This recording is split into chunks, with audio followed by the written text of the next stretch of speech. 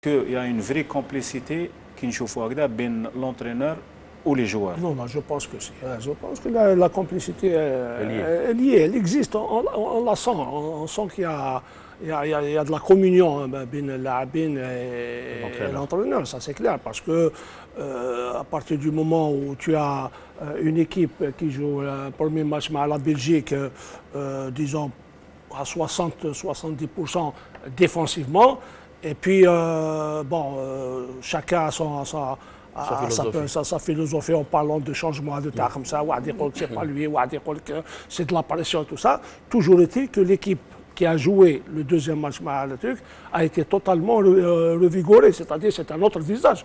On a vu une autre équipe, personne ne s'attendait à ce que l'équipe nationale contre la Corée, même si c'est la Corée, c'est pas c'est pas l'Allemagne, c'est pas la Hollande, ça reste la Corée, mais marquer quatre buts personne ne s'attendait à ce que l'équipe nationale gagne ce match par, par 4 buts.